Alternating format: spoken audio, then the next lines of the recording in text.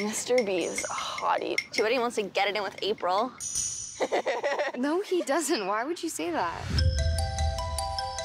Mr. Morrison, given the support you have from the community, the court would like to give you one last chance to turn your life around.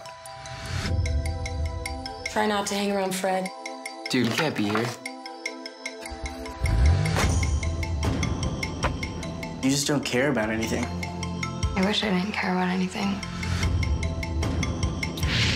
This party sucks.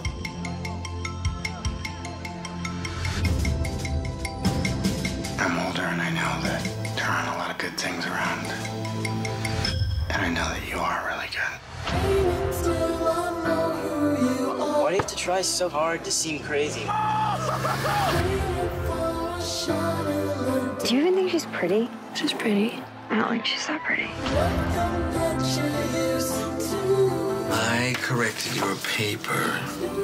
You could have just corrected it. You didn't have to rewrite the whole thing.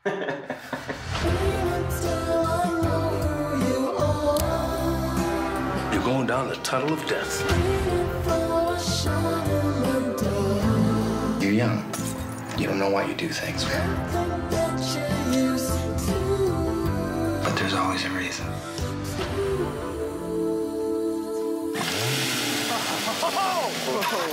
Oh.